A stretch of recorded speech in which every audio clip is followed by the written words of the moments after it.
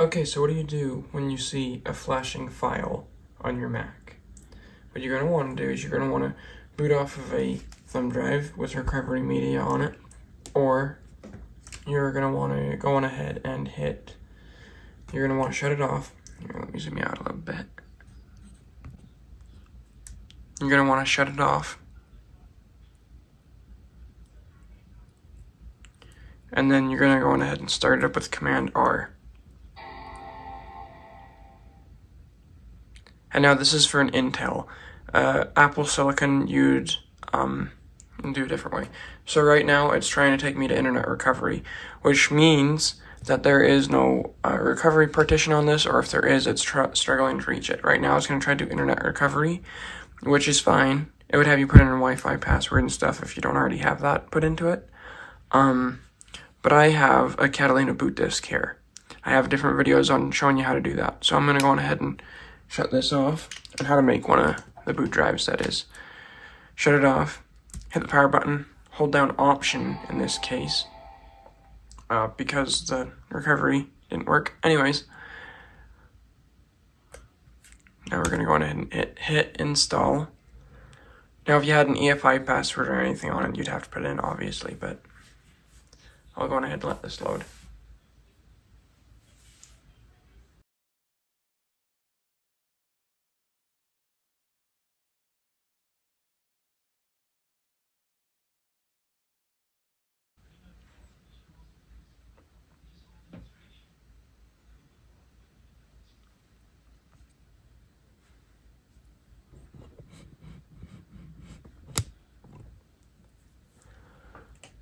Okay, now that we're loaded in, we're going to go on ahead and we're going to go to um, disk utility, and we're going to go on ahead and hit continue.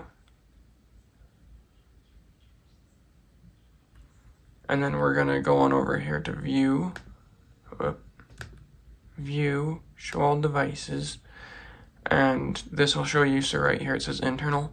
You're going to go down here to your hard drive. If your hard drive failed or anything like that, it wouldn't show right here.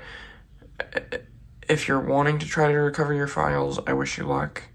Um, more than likely, you're going to have to erase it or your hard drives went out. I don't know.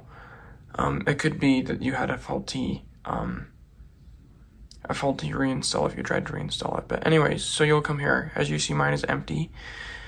Um, I did that on purpose so that I could make this video, but if you go on up here, you can go to first aid, run first aid on it, make sure that it says that it's good. If it says that it's good, then you know it's it's done everything it can to fix it. And then you go on ahead and you can hit erase, and you can erase it. Um, I'm not gonna do that. I already did that. But then you're gonna go to install Mac OS, hit continue, and you're just gonna follow the prompts on the screen you're gonna hit agree, agree, and then you're gonna click on your hard drive and you're gonna hit install. And then once you do that, it'll just go ahead and install. It'll take an hour or two. Make sure to plug your laptop in and uh, have it on the charger while it's doing that. And then you should be good to go from there. So there you go. Thanks, guys.